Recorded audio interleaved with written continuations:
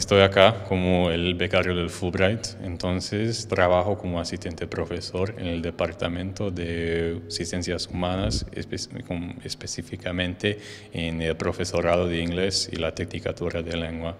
¿En qué podés ayudar a los estudiantes que quieren participar en el programa Fulbright? Bueno, yo tengo mucha experiencia escribiendo ensayos personales y haciendo aplicaciones porque el proceso de obtener una beca como el Fulbright es bastante difícil. Entonces puedo ayudar en el proceso de escribir en inglés y cómo manejar una entrevista con, una, la comisión del Fulbright. ¿Qué te gustó de Argentina y de esta universidad?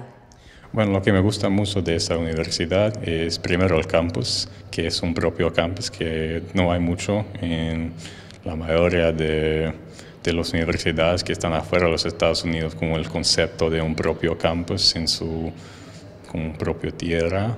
Y bueno, la gente es muy amable, que los estudiantes, los profesores me han ayudado mucho en mi proceso, mi, bueno, mi vida diaria acá, que tengo siempre mil preguntas para hacer las cosas que para mí en los Estados Unidos son muy sencillos. Por ejemplo, no sabía cómo pedir en la carnicería, entonces una amiga me, me ayudó, como me, me, hizo una lista de todos los cortes del carne y cosas así, que, que, son muy amables todos los estudiantes y la gente acá en Río Cuarto.